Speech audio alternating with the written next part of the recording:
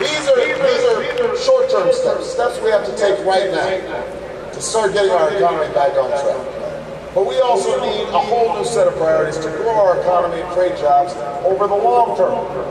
And it starts with tax relief. There's been a lot of talk about taxes in this campaign. And the truth is, my opponent and I are both proposing tax cuts. The difference is who we want to give them to. John McCain wants to give an average of a $700,000 let me repeat that, $700,000 tax cut to the average Fortune 500 CEO. They don't need it. They're not even asking for it. I want to put a middle class tax cut in the pockets of 95% of workers and their families.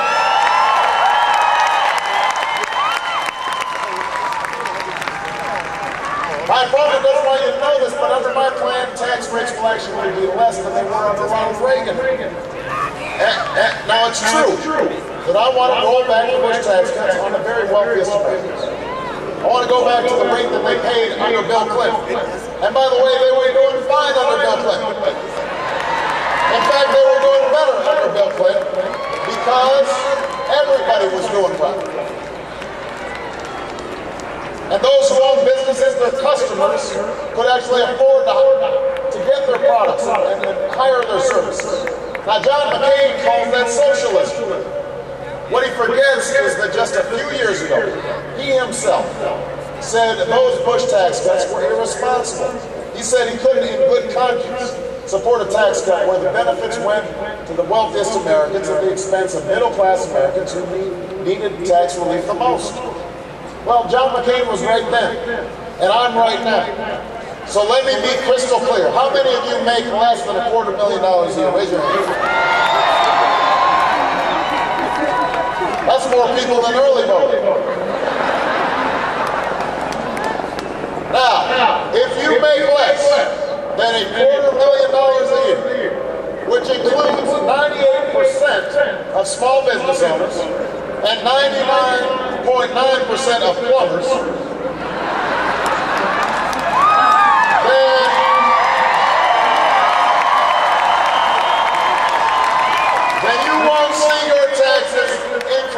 single dime. Not your payroll tax, not your income tax, not your capital gains tax, no tax. That's my commitment to you. For the last eight years, we've tried it John McCain's way. We've tried it George Bush's way. We've given more and more to those with the most. And it hasn't worked. It has not worked. So don't you think it's time that we try something new? Isn't it time we try to grow this economy by investing in the middle class again? That's what this election's about. That's why I'm running for president. That's why you're here today to bring about a new agenda for America.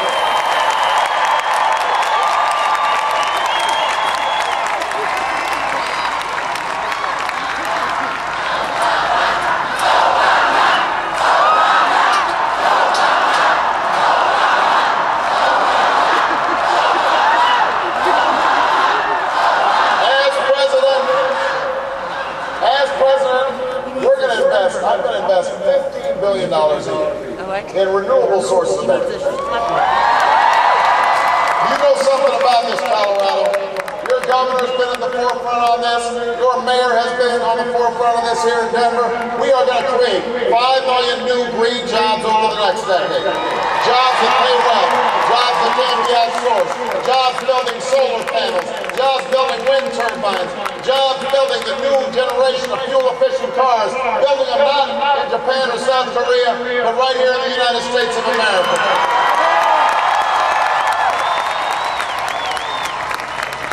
Jobs that help us end our dependence on oil from the Middle East, and jobs that will save this planet in the market.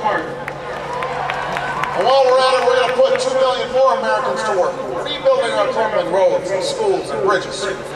Because it is time, we're going to lay broadband lines in rural communities. We'll create a new electricity grid so we can get renewable energy efficiently to population centers. It is time to build an American infrastructure for the 21st century. And if people ask me how we're going to pay for this, you just remind them that we can spend $10 million a month in Iraq, we can spend $10 billion here in the United States of America, put people back to work.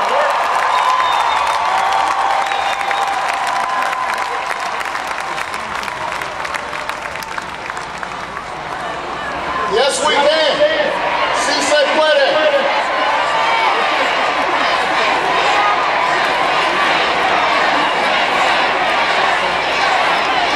As president, as president, I'm going to finally take on this healthcare system that we've been talking about for decades. And the issue is personal for me. My mother died of cancer at the age of 53. I'll never forget, she spent the final months of her life lying in a hospital bed fighting with her insurance company because they claimed her cancer was a pre-existing condition. They didn't want to pay for a treatment. When I'm president, we'll make sure those insurance companies can never do that again. Now, just like George Bush, John McCain wants to tax your health care benefits for the very first time in history and let insurance companies keep discriminating against people who need health care the most. It's the same failed insurance company first, your family last health care policy that we are going to change. My health care plan will make sure insurance companies can discriminate against those who are sick. If you have health care, if you already have health insurance, the only thing that will change under my plan is that we're going to lower premiums. We're going to work with your employer.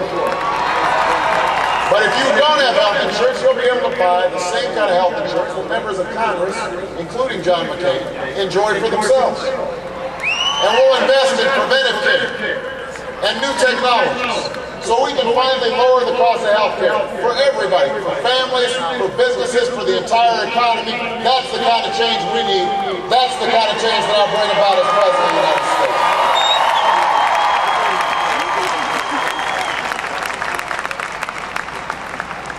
As President, I'm going to insist we give every child, everyone, the skills, the knowledge they need to compete in the 21st century economy. We're not going to allow other countries to out-teach us today they can out-compete us tomorrow. And that means we're going to invest in early childhood education to close the achievement gap. It means we're going to pay our teachers higher salaries and give them more support and increase accountability.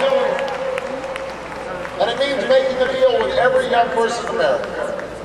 Now, John McCain's economic advisor was asked about college affordability. He said, well, we don't have a plan for that because we don't want to just keep on giving money to every, special, uh, every interest group that comes around. Interest group. I don't think young people are an interest group. I think young people are a future. And that's why, and that's why I'm going to make a commitment to the young people who are here today and all across America. If you are well enough, provide some form of community service to your country or your community join the military, join the Peace Corps, work in a homeless shelter, work in a veterans home, whatever it is that you choose to do. And we are going to make sure that you can afford to go to college, no ifs, ands, or buts. We'll invest in you, we'll invest in America. Together we're going to move this country forward. And that's the plan I make to you,